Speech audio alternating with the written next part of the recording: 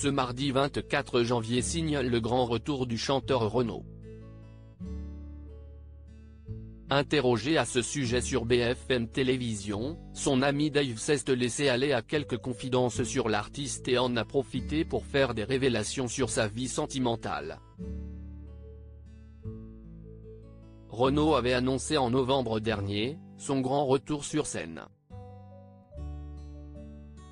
Une annonce faite alors qu'il venait de réapparaître sur le plateau des Energy Music Awards pour recevoir un trophée d'honneur récompensant ses 50 ans de carrière. L'état de santé du chanteur de 70 ans avait alors fortement inquiété les internautes, qui s'étaient empressés de commenter, ému, voir Renaud dans cet état, c'est terriblement triste. Il m'a brisé le cœur, ça me déchire le cœur de voir Renaud dans cet état, il me fait beaucoup trop de peine.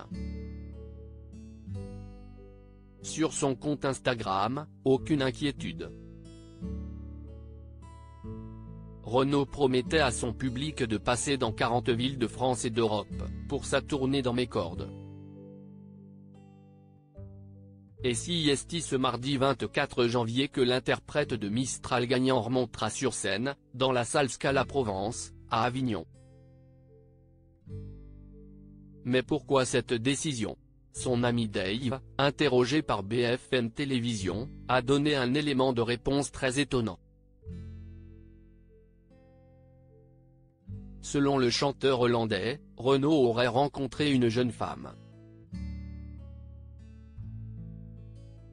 Il a envie de l'épater il a envie de l'épater aussi. Si est ça qui lui a donné envie de montrer qu'il sait le faire et qu'il peut le faire, a précisé le compagnon de Patrick Loiseau. En effet, un proche de Renault avait révélé en octobre 2022 que le chanteur aurait fait la cour pendant tout l'été à une femme plus jeune que lui, et aurait finalement réussi à la faire succomber à ses charmes. Depuis quelque temps, grâce à cette relation, il semble s'être vraiment repris en main. Au Parisien, en 2021, le chanteur de Mistral gagnant avait confié « J'ai éliminé la clope, je suis passé de 60 par jour à 15. Je suis accro à la vapoteuse. Et j'ai arrêté définitivement l'alcool depuis 6 mois. Je suis un homme neuf. Pour la femme qu'il aime, il a changé de vie, perdu du poids, s'est taillé la barbe, a changé de coupe de cheveux, et maintenant il remonte sur scène. 2023 semble vraiment être l'année de Renault.